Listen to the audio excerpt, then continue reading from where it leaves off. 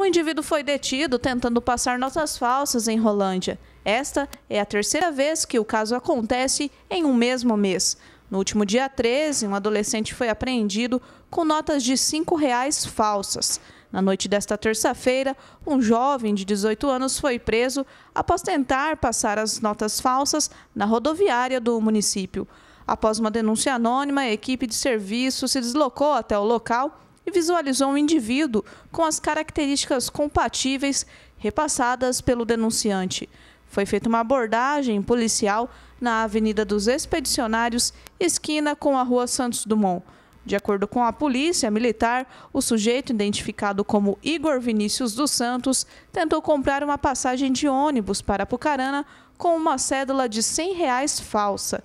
Diante disso, vários funcionários da rodoviária perceberam a ação e acionaram a polícia.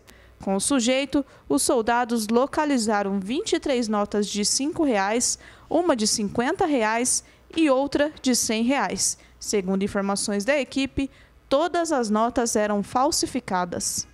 Então, a equipe deslocou ali um solicitante ali da aviação Garcia, ligou para aqui para para o Copom Rolante, a equipe deslocou e encontrou ali esse rapaz tentando passar notas falsas ali na, numa sorveteria. Esse rapaz já tinha tentado ali é, envia, é, trocar notas ali na rodoviária e agora estava tentando passar notas ali na, na sorveteria. Daí a equipe abordou, foi encontrado ali 23 notas de 5 reais, uma nota de 50 e uma nota de 100. O sujeito confessou à polícia que comprou as cédulas falsas de um indivíduo na rua Arthur Thomas pela quantia de 100 reais.